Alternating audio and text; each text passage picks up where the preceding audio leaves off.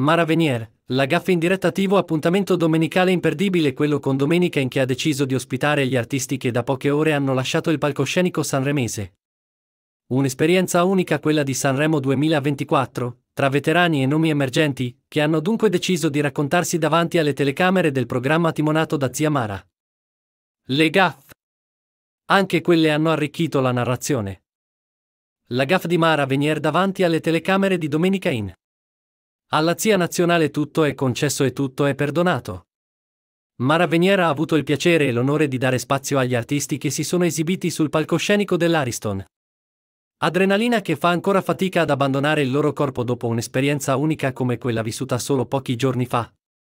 E tra gli artisti ospiti del programma domenicale, anche Stash, frontman dei The Colors. Il cantante è ormai una vera e propria icona e conquista il pubblico italiano di fan per bravura e carisma. E oltre a raccontarsi come artista, Stash non poteva che creare un focus anche sulla sua splendida famiglia. Due figlie bellissime, Grace e Imagine, nate dall'amore tra Stash e Giulia Belmonte. Ed è proprio sul rapporto con la fidanzata che Mara Veniere è caduta nella trappola della gaffa. Il cantante ha ricevuto da parte della conduttrice un omaggio floreale, peccato solo che Mara Venier si sia fatta scappare di bocca qualche parola di troppo. Antonio vorrei che questi riportassi a tua moglie Giulia.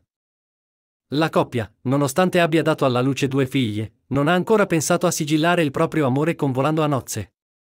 Ma la gaff di Mara Venier ha svelato anticipatamente questo lieto evento?